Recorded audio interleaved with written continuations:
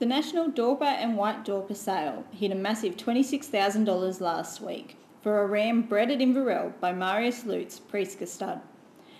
The top price ewe was sold by the Vanderkirks Dumisa stud to Gilgandra breeder Terry Cotter for $4,000. For more info, see this week's The Land. 124,000 now, but a 2, 5, but a 24, got now 5,000. 125,000. 125,000 now. 125. 125,000 now, but a 2, 5, but a 25,000 I got now. 6,000. 126,000 here. And up to 26 now. At 26,000 now. I'll tell you what I'll do. I'll take a little half on. And up to 26,000. And at 26,000 now. At 26,000 going to to 26. And at 26,000 now. I'm going to punt and sell it on at 26,000. Ready. Hold on at 26,000. Ready. Hold on.